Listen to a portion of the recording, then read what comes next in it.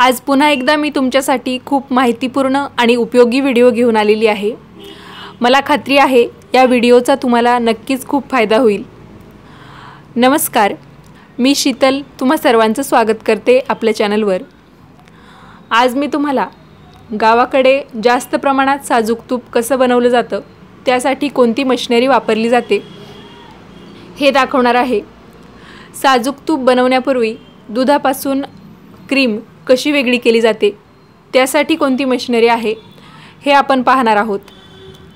व्हिडिओला सुरुवात करण्यापूर्वी तुम्ही जर या चॅनलवर नवीन असाल चॅनलला सबस्क्राईब केलं नसेल तर जरूर करा. साईडला दिलेलं जे बेलचं आयकॉन आहे तेही प्रेस करा. म्हणजे माझ्या येणाऱ्या प्रत्येक व्हिडिओचं नोटिफिकेशन तुम्हाला सर्वात आधी मिळेल.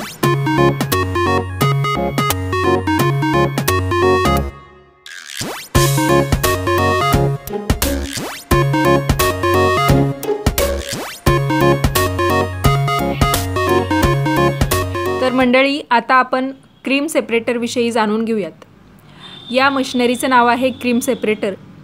यामध्ये आपण दुधापासून बटर किंवा दुधावरची जी क्रीम असते ती वेगळी करू शकतो आणि दूध वेगळं करू शकतो. इथे दोन पॉईंट तुम्हाला वरती दिसत आहेत.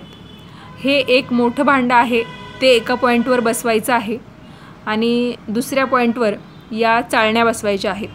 तर या टोटल एकवीस चाळण्या आहेत. वरच्या साईडने जर तुम्ही बघितलं तर सगळ्यात मोठी जी चाळणी आहे ती वरती येते आणि तिच्या खालोखाल छोटी छोटी छोटी आणि सगळ्यात शेवटची म्हणजे सगळ्यात छोटी चाळणी असते. तर इथे या सर्व चाळण्या अशा पद्धतीने एकावर एक बसवलेल्या आहेत आणि सर्वात वरती जी एकविसावी चाळणी आहे ती तुम्हाला मी बसून दाखवते आहे. तर ही सगळ्यात मोठी चाळणी आहे. या खालोखाल छोटी छोटी करत सर्व चाळण्या बसवून घेतलेल्या आहेत. ही चाळणी एकदा बसवून घेतली की त्यावर परत एक कवर आहे. ते बसवून घ्यायचं आहे आणि पाण्याच्या साह्याने ते आपल्याला फिट करून घ्यायचं आहे. जे मोठ्या आकाराचं तुम्ही भांडं पाहिलं त्यामध्ये वरून दूध टाकलं जातं. आणि त्याला परत खाली दोन पाईप आहे ते बसवले जातात.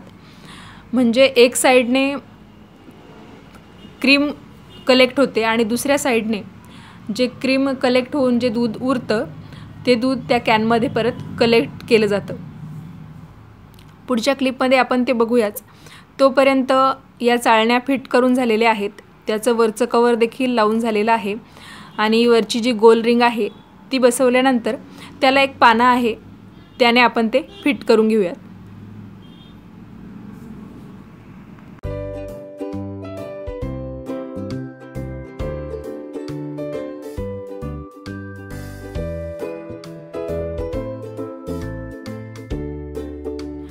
तर अशा पद्धतीने सर्व चाळण्या एकावर एक बसवून झालेल्या आहेत.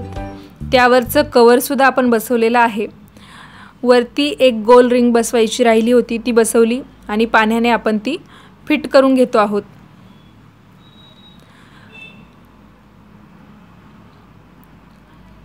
तर क्रीम सेपरेटरवर दोन पॉईंट दिलेले आहेत ते आपण बघितले. छोट्या पॉईंटवर हा चाळण्यांचा सेट आपल्याला बसवायचा आहे. त्यानंतर त्यावर एक लांब दांड्याचा पाईप आहे तो बसवायचा आहे. दोन पाईप या मशिनरीवर असतात. अपोजिट साईडने येतील. अशा पद्धतीने हे पाईप बसवायचे आहे. त्यानंतर वरती परत एक भांडं आहे. मोठ्या आकाराचं भांडं. त्यामधून आपण दूध ओतणार आहोत आणि त्याच भांड्याला खाली एक नळ आहे. चाळण्यांचं सेट बसवल्यानंतर परत एक गोलाकार भांडं आपण तिथे बसवलं. जेणेकरून वरचं मोठं भांडं आपण जेव्हा बसवतो तेव्हा तो नळ बरोबर त्या छोट्या भांड्यामध्ये येतो. ही मशिनरी लाईटवर चालते. तर या मशिनरीला एका साईडने पिन आहे ती आपण बोर्डमध्ये लावून घेतलेली आहे. आता आपण चेक करून बघूयात की व्यवस्थित अशी क्रीम बाजूला आणि उरलेलं दूध बाजूला होतं आहे की नाही ते.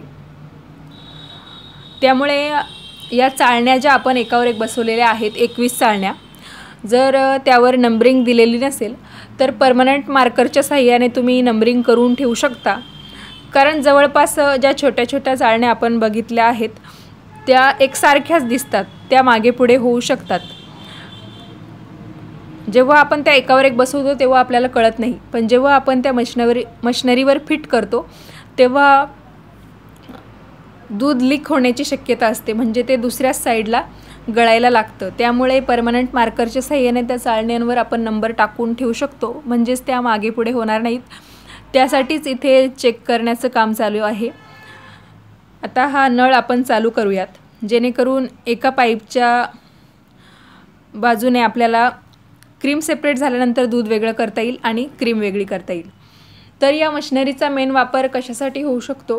क्रीम सेपरेशनसाठीच होऊ शकतो. पण जेव्हा तुम्ही असा घरगुती साजूक तूप बनवण्याचा व्यवसाय चालू कराल किंवा तुम्हाला साजूक तूप बनवून विकायचं आहे तर या मशिनरीचा वापर होऊ शकतो. जास्त क्वांटिटीमध्ये आपल्याला क्रीम वेगळी करायची आहे तर या मशीनचा वापर नक्कीच होऊ शकतो. साधारणतः दोन कॅन दुधापासून दहा ते बारा किलो तूप होईल इतकी क्रीम निघाली जाते. आता हे डिपेंड कशावर करतं? दूध कोणत्या क्वालिटीचं आहे? कशा क्वालिटीचं आहे? दुधामध्ये फॅट्स किती आहे? त्यावरच डिपेंड करणार की लोणी किती निघेल आणि त्यानंतरच तूप किती होऊ शकेल याचा अंदाज आपण ठरवू शकतो. तर एक कॅन असते चाळीस लिटरची. दोन कॅन म्हणजे ऐंशी लिटर दुधापासून दहा ते बारा किलो तूप होईल इतकी क्रीम निघली जाते.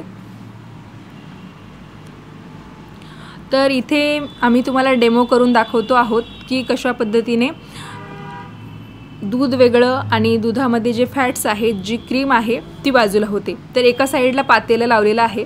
जो अपोजिट बाजूला जो आपण पाईप लावलेला आहे तिथे आपण पातेलं ठेवलेलं आहे मोठं. म्हणजे त्यामध्ये क्रीम येईल आणि दुसऱ्या बाजूने परत एक रिकामी कॅन लावलेली आहे. त्यामधून काय होईल? दूध बाजूला होईल. तर अशा पद्धतीने तुम्ही पातेल्यामध्ये बघू शकता किती क्रीम जमा झालेली आहे. हे दूध कच्चं दूध आहे. इतर वेळा आपण पारंपरिक पद्धतीने जेव्हा बटर काढतो तेव्हा दही लावून ठेवलेलं असतं. आणि त्यानंतरच आपण त्यापासून ताक वेगळं आणि तूप किंवा बटर वेगळं असं करू शकतो.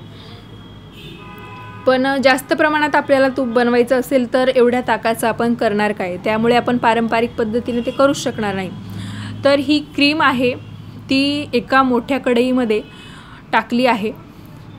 आता हिला सतत हलवत राहायचं आहे म्हणजे ती खाली चिकटणार नाही.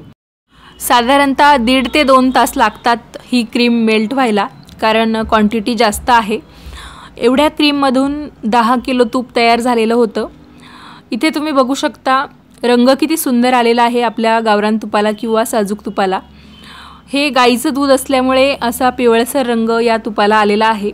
जर म्हशीचं दूध असेल तर ते व्हाईट रंगाचं तूप बनतं. हे तूप एकदम रवाळ झालेलं आहे. कुठल्याही प्रकारची भेसळ आपण या तुपामध्ये केलेली नाही. तुम्ही बघू शकता. अजून ही कढई गॅसवरच आहे. अजून मेल्टच होत आहे. यानंतर बेरीबरोबर खाली बसेल आणि तूप आपण काढून घेऊ शकतो. जर तुमचाही असा घरगुती तूप बनवण्याचा व्यवसाय असेल किंवा तुम्हाला या क्रीम सेपरेटरचा वापर करायचा असेल तर अशा पद्धतीने आपण तो करू शकतो. तर आजच्या व्हिडिओमध्ये आपण दुधापासून क्रीम कशी वेगळी करायची त्यानंतर ती क्रीम मेल्ट करून साजूक तूप कसं बनवायचं हे बघितलं. मला वाटतं हा व्हिडिओ तुम्हाला खूप माहितीपूर्ण आणि उपयोगी ठरेल.